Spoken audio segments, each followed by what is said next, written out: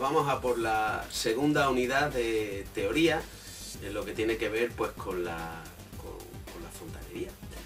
Fijaros, en esta ocasión vamos a hablar de un sistema que se estandarizó por la mayoría de los países y nos ha beneficiado a, pues a todos. Estamos hablando del sistema métrico decimal. Fue un sistema que en 1792 pues la, Academia de Ciencias de París la propuso.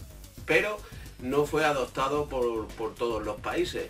Ya avanzando más el tiempo, pues fue ya en 1849 cuando se adoptó esta manera de estandarizar medidas eh, por la mayoría de los, de los países, excepto los de habla inglesa.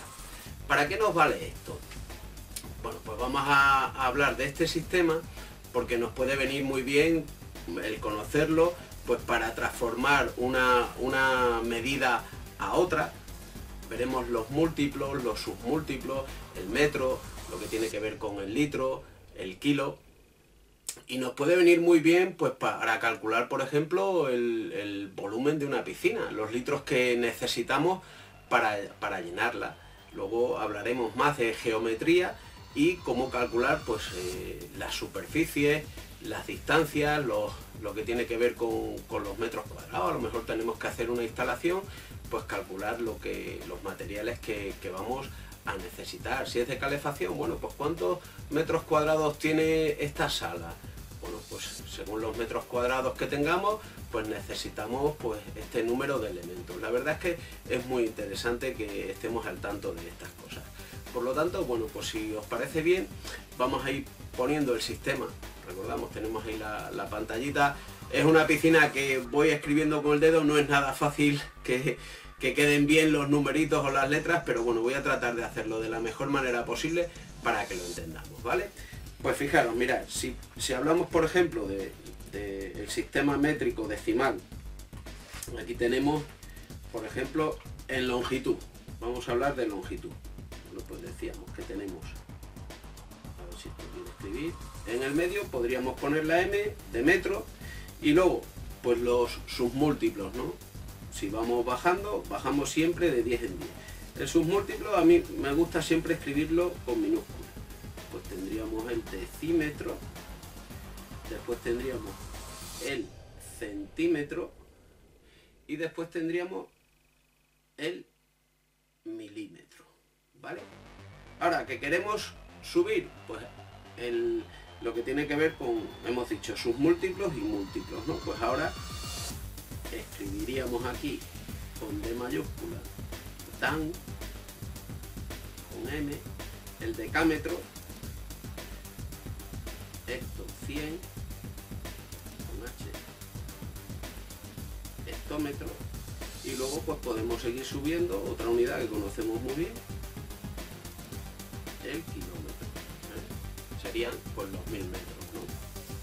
Recordamos que por ejemplo para subir eh, y transformar eh, pues por ejemplo de, metros a kilómetros, pues muy fácil. Multiplicamos. Para subir, perdón, para subir dividimos. Aquí una flechita por cada uno de los lugares que subimos pues si nosotros nos están dando las unidades en metro, evidentemente eh, tenemos que ir, para, subir, vamos dividiendo. ¿Por cuánto dividimos? Por 10, por 10 y por 10. Imaginaros que ahora estuviésemos hablando eh, de, y aquí, bueno, para bajar,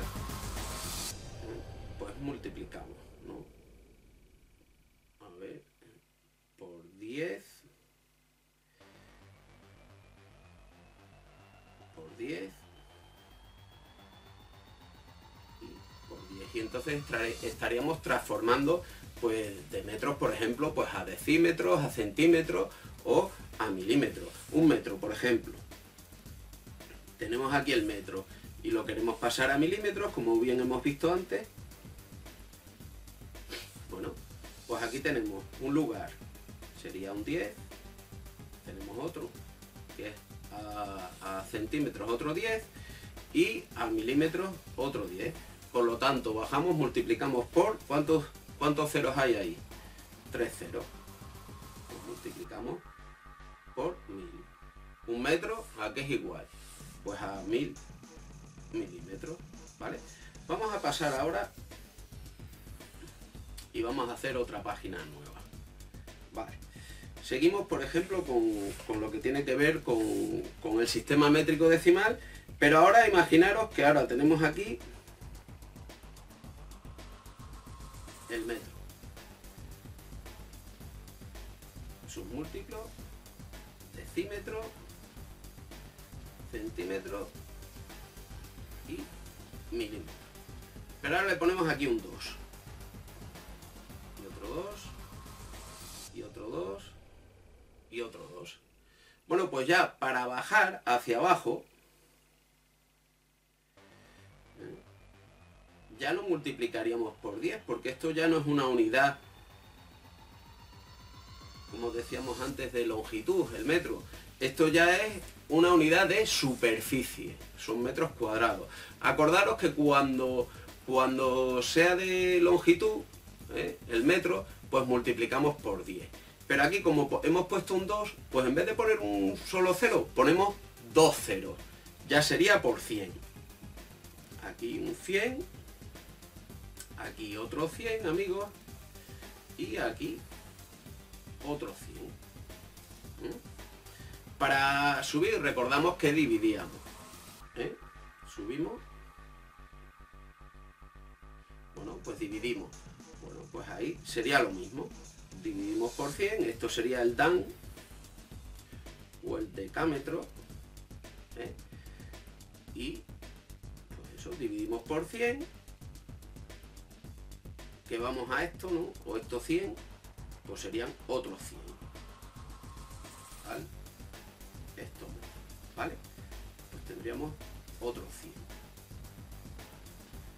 Siempre por cada lugar que subamos o bajemos, en este caso ponemos dos ceros. Recordamos el 2 de superficie. ¿Cómo hacemos si ahora resulta que lo que tenemos aquí son metros cúbicos. Metro, decímetros cúbicos, centímetros cúbicos y milímetros cúbicos. Pues hacemos lo mismo, amigos. Para bajar hemos dicho que multiplicamos. Y para, y para subir, dividimos. Pues estas son las flechitas y ahora recordamos, si con el 2 de superficie eran dos ceros, pues ahora con el 3 que tiene que ver con volumen, pues ponemos 3 ceros. 1,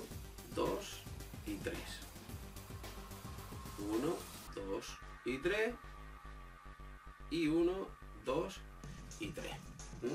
Esto nos va a venir muy bien, que tengamos esta base pues para, hacer diferentes cálculos. Recordamos, el volumen nos va a venir muy bien pues para la piscina, a lo mejor un depósito o un grupo de presión que tengamos que poner.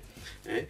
Es, una cosa relativamente sencilla, ¿eh, amigos. De todos modos, aquí ahora os voy a hacer una, eh, una tabla de equivalencia y vamos a ver, por ejemplo, recordamos, ¿no? Bueno, si, si en primer lugar ponemos en el sistema métrico tenemos ahí el metro tenemos vamos a poner el litro y vamos a poner también pues el gramo ¿Eh? Ahí tendríamos lo que es el, lo que es el centro en el sistema eh, métrico y luego pues recordamos metro pues bajamos a ver perdón decímetro. Litro, decilitro. Y gramo, pues el decigramo. Y así sucesivamente iríamos bajando, ¿eh? Bajando hasta el miligramo, el mililitro o el milímetro como vimos. Y luego pues hacia arriba también múltiplos, ¿no? En este caso Ahí lo tenemos. No sé qué tal se verá la pantalla, ¿eh? es fácil, ¿no? recordamos siempre 10, luego 100 y luego 1000. ¿eh? Decalitro aquí. Y luego pues, el decagramo. Y ahora os voy a poner una tabla de equivalencias que nos puede venir muy bien. ¿eh? Fijaros, vamos a hacerla rápidamente. Vamos a poner aquí a lo que equivale cada cosa. Vamos a poner en el centro un metro cúbico, una. Tonelada,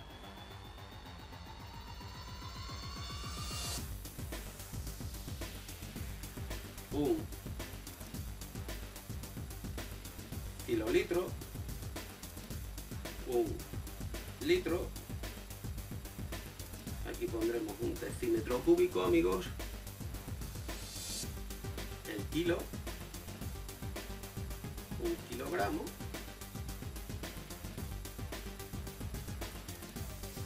Un mililitro. Un centímetro cúbico. Y un gramo. Eh, esto es una tabla de, equivalencias, ¿no? Entonces, esto haríamos así, la tabla la pondríamos así, y son las equivalencias, ¿eh? que incluso con reglas de tres ya podemos saber lo que, lo que es, ¿no? Si tenemos, eh, fijaros, un metro cúbico, aquí, bueno, pues cuántos ¿Cuántos litros serían? Pues aquí lo tenemos. Lo transformaríamos, ¿no? Lo pasaríamos.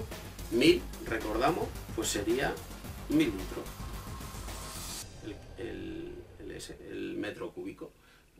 Es un poco lo que tiene que ver, amigos, con, el sistema métrico decimal. Es una cosa que es también muy básica, eh, lo conocimos hace muchísimo tiempo pero bueno, viene bien una vez más repasarlo, eh, sobre todo para cuando tengamos que hacer cálculos, lo que decíamos antes, en, un plano, en una obra, que no, bueno, la lógica, luego veremos en el plano, pues eh, cómo usar el, escalímetro y demás, ¿no? Eh, un, centímetro aquí, cuánto es en la realidad, lo que es el equivalente. Pero todas estas cosas es buena que nos familiaricemos.